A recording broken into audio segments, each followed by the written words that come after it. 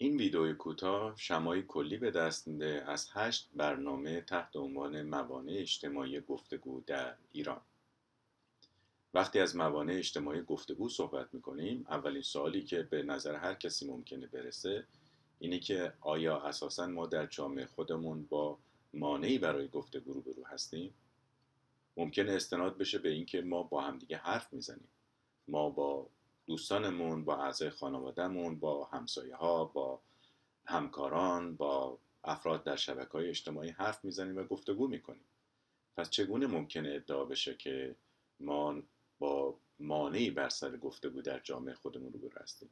به علاوه چگونه ممکنه ادعا بشه که این موانع موانع اجتماعی هستن؟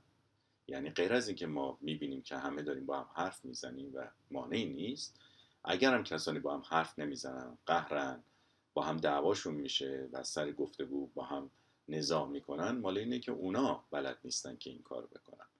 و به این ترتیب مشکل مشکلی فردی به اون افراد برمیگرده و از مشکل اجتماعی خبری نیست. بنابراین چگونه ممکنه ادعا بشه که ما با موانع و مشکلات اجتماعی برای گفتگو در جامعه خودمون روبرو هستیم؟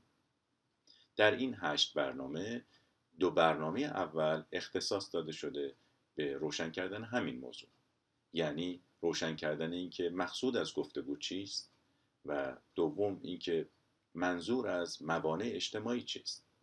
اگر این دوتا موضوع روشن بشه اون وقت معلوم میشه که آیا ما داریم از گفتگوها و مکالمات روزمره حرف می‌زنیم یا انواع و شقوق دیگری از گفتگو هم مورد نظر هست که در اونها جنبه های ظریفتر و دقیقتری از مکالمات روزمره ممکنه مطرح باشه و مقصود از گفتگو اونهاست. به علاوه نشون خواهیم داد که وقتی از موانع اجتماعی صحبت می‌کنیم دقیقا از چیزهایی داریم صحبت می‌کنیم که به خود شخص بر نمیگرده بلکه به زمینه ها و بسترها و ساختارهای اجتماعی و تاریخی برمیگرده. بنابراین دو برنامه اول صرف این میشه که منظور از گفتگو رو روشن کنه و مقصود از موانع اجتماعی روشن کنه. اما پس از این مرحله در شش برنامه بعدی من به شش مانع از موانع اجتماعی گفتگو در جامعه ایران اشاراتی خواهم داشت به کوتاهی. اولین مانعی که ازش صحبت خواهیم کرد نبود جهان و زبان نسبتا مشترک. بدیهی است که برای هر نوع گفتگویی ما نیاز داریم که در جهان مشترکی به سر ببریم.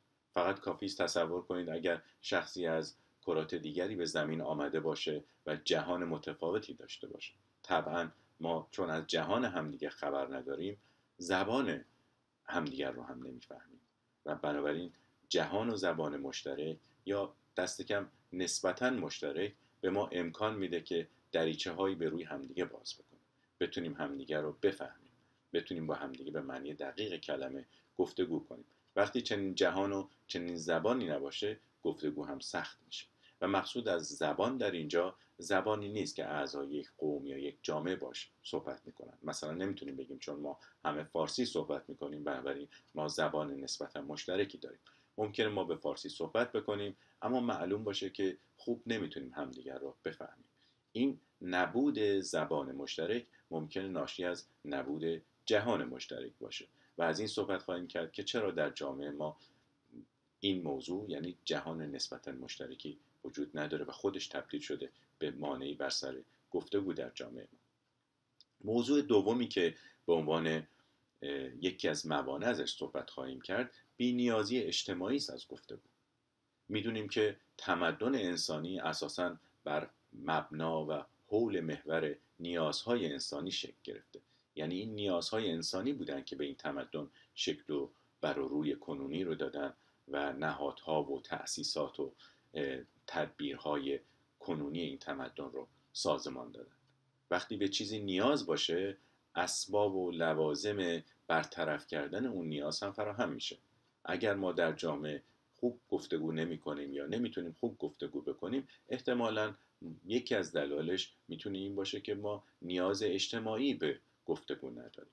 و از این صحبت خواهیم کرد که چرا در سطوح مختلف در جامعه ما نیاز جدی به گفتگو احساس نمیشه بلکه ما برای حل مشکلات دیگرمون از شیوه های دیگری استفاده می‌کنیم. سومین مانعی که ازش صحبت خواهیم کرد کمبود زمینه های کالبدی برای گفتگو. وقتی به چیزی نیاز وجود داشته باشه زمینه هم فراهم میشه و من جمله اسباب و لوازم مادیش. اسباب و لوازم مادی برای گفتگو هم منشأش اون نیاز هاست. اگر اون نیازها رو ادعا می‌کنیم که در جامعه ما وجود نداره بنابراین زمینه های مادی و کالبدیش هم فراهم نمیشه. مثلا رسانه های آزاد پاتوخ های عمومی برای گفتگو. اینها چیزهایی که در جامعه ما کمبودش کاملا احساس میشه. مانع دیگری که ازش صحبت خواهیم کرد به عنوان مانع چهارم از موانع اجتماعی گفتگو گزارهای ناگزیری هست که جامعه ما سالیان سالی باش دست به گریبان.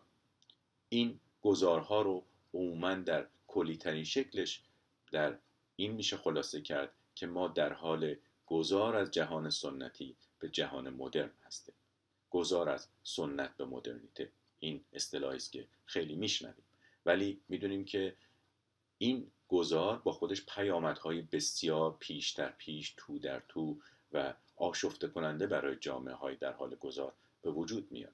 و این نوع آشفتگی اجتماعی و فرهنگی در این جامعه ها خودش می‌تونه یک از موانع انشقاق و تک تکه شدن جامعه باشه و باعث بشه که گفتگو سر نگیره.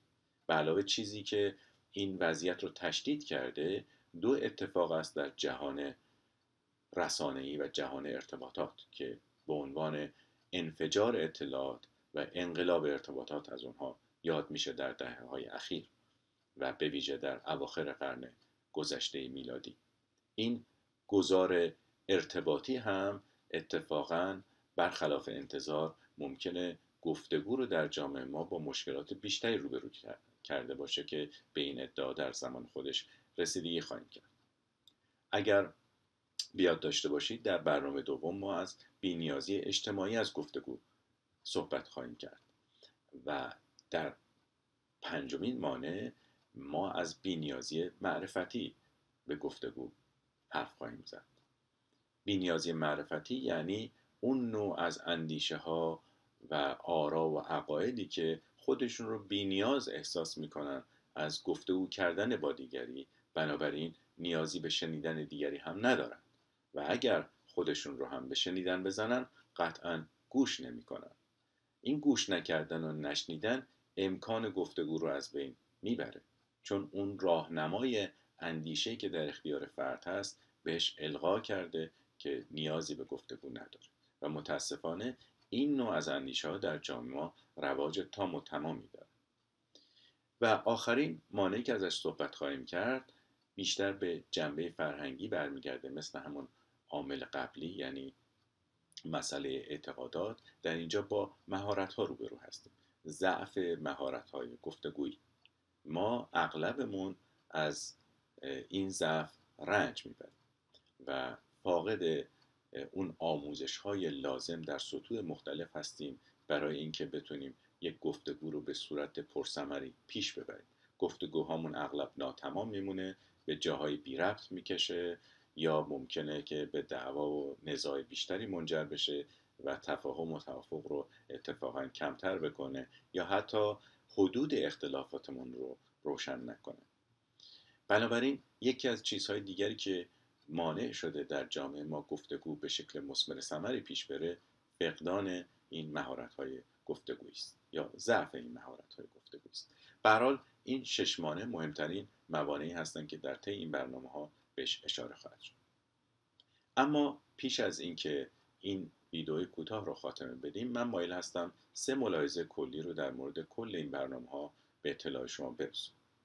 اولین مسئله این هستش که وقتی ما از مشکلات موانع اجتماعی در جامعه ایران برای گفتگو صحبت می‌کنیم مقصودمون این نیست که جامعه های دیگر از چنین مشکلاتی مبرا هستند. مقصود این نیست که جامعه ما با مشکلات بیشتری نسبت به جامعه های دیگری روبرو هست در این زمین یا مشکلات کمتری. به هر حال قصد مقایسه جامعه ها با هم دیگه نیست. جامعه های دیگه اگر مشکلاتی دارن به خودشون مربوطه و حتما ساکنان اون سرزمین ها و اون جامعه ها برای حل اون مشکلات فکرهایی خواهند کرد و شاید یه همچین برنامه هایی هم بسازن. ولی ما فعلا در مورد مشکلات جامعه خودمون داریم حرف می‌زنیم بدون اینکه قصد مقایسه در کار باشه. نکته دوم یا ملاحظه دوم این هست که وقتی از این صحبت می‌کنیم که مثلا مردم ما فاقد مهارت های گفتگویی هستند در اینجا از یک نوع کلیت داریم حرف می‌زنیم نه از عمومیت. یعنی این حرف شامل هر ایرانی نمیشه. همه ایرانیان فاقد مهارت های گفتگویی نیستند بلکه بخشی از اونها یا عده از اونها واجد این مهارت ها هستند و می‌تونن گفتگو رو به صورت نسبتا پرثمری پیش ببرن. بنابراین ما داریم از کلیت حرف می‌زنیم. یعنی اغلب یا اکثر مردم ما فاقد این مهارت ها برای گفتگو هستند و منظور این نیست که هر ایرانی فاقد این گفتگو هست یا این یک صفت ذاتی است که ما ایرانی ها فاقدش هستیم و امثال اینها. اینها ادعاهایی است که برات به این موضوع ارتباطی نداره و آخرین مسئله این هست یا آخرین ملاحظه این هست که این ششمانه ای که در اینجا ازش صحبت میشه تنها مهمترین موانع هستند به زعم من. ولی در طول گفتگوهایی که با مخاطبان این برنامه خواهیم داشت ممکنه به این موضوع برسیم که موانع اجتماعی دیگری هم در همین حد از اندازه و اهمیت وجود دارند که باید به این فهرست اضافه بشن. به هر حال این برنامه برنامه است برای گفتگو درباره گفتگو و گشوده به روی گفتگو و آماده است که این فهرست رو کم یا زیاد بکنه و اون رو بهبود ببخشه و به قنای بیشتر برسونه البته با مشارکت شما. متشکرم.